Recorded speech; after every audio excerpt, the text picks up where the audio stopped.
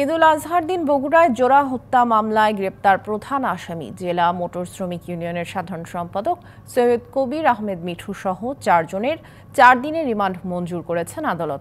দুপুরে বগুড়ার অতিরিক্ত চিফ জুডিশিয়াল ম্যাজিস্ট্রেট আদালতের বিচারক সুপান্ত সাহা শুনানি শেষে এই আদেশ দেন।